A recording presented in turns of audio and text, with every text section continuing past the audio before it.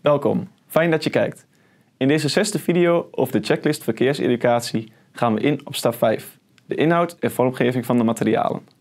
De samenhang tussen de verschillende stappen van de checklist in stap 1 tot en met 4 hebben we in eerdere video's behandeld.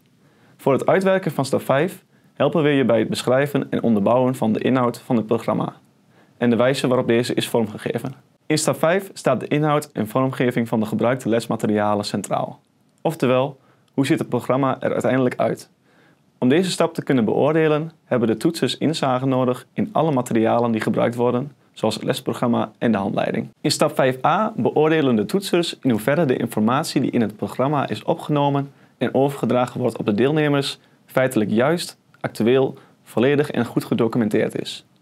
In ons fictieve programma over afleiding in het verkeer door telefoongebruik onderbouwen we met actuele cijfers over ongevallen in het verkeer waarom afleiding in het verkeer risicovol is.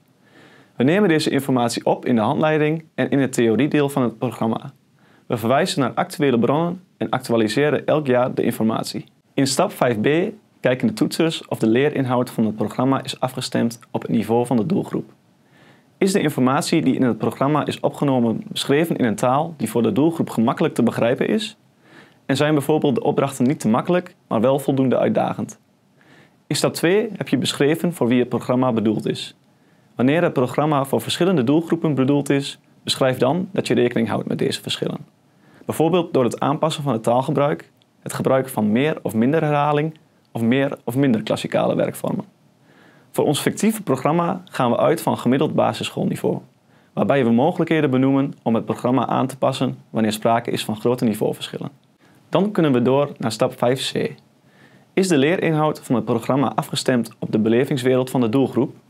Ook hier is het weer van belang om de doelgroep goed te kennen, zodat je kan aansluiten op wat de doelgroep tegenkomt in het dagelijkse leven. Bij het ontwikkelen van je programma is het aan te raden om het programma eerst te testen op je doelgroep voordat je het breder uitrolt.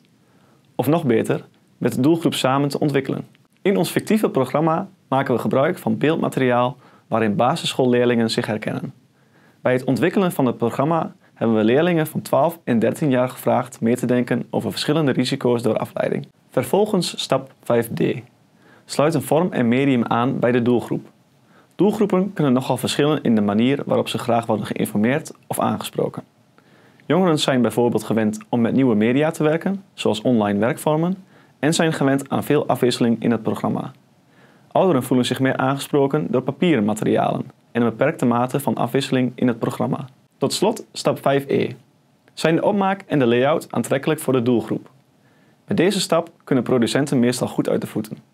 Mooi vormgegeven materialen zijn immers voor zowel de deelnemers als voor de trainers prettig om mee te werken. In ons fictieve programma maken we in het theoriedeel gebruik van aansprekende video's, foto's en animaties, zodat de leerlingen beter betrokken zijn bij de les. Het is belangrijk om de informatie die je gebruikt goed te documenteren en met actuele bronnen te onderbouwen. Stem je programma af op het niveau en de belevingswereld van je doelgroep. Uiteindelijk is het belangrijk dat je doelgroep zich aangesproken voelt door het programma. Een aantrekkelijke vormgeving helpt daarbij. Meer informatie en voorbeelden vind je in de handleiding van de checklist. Bedankt voor het kijken.